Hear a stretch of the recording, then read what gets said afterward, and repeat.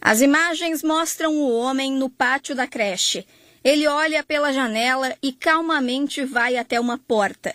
Lá, ele pega cartazes com trabalhos feitos pelos alunos e tapa a câmera de segurança. Este foi o quarto furto na rede de escolas infantis de Canoas em menos de três meses. De acordo com as informações repassadas para a polícia, o homem que aparece nas imagens é um ex-funcionário do local.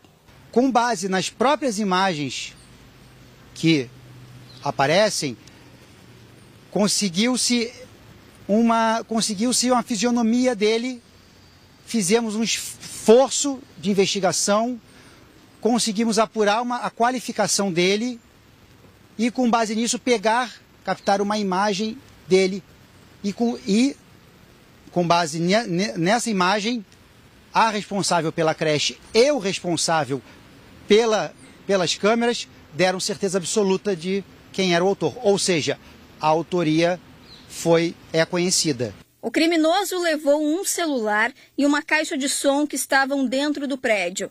Mas para entrar na creche, ele danificou os fios das câmeras de segurança e também do portão, gerando um prejuízo para a instituição. A polícia prepara agora os próximos passos da investigação.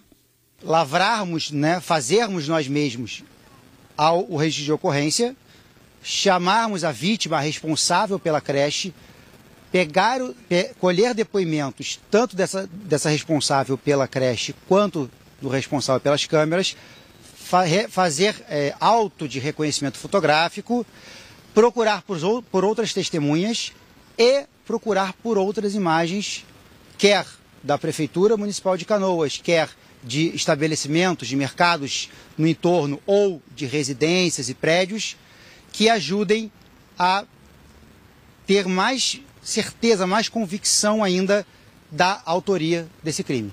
Qualquer informação sobre o suspeito pode ser repassada de forma anônima para a polícia através do telefone 51 99 888 5719 ou pelo Disque Denúncia 181.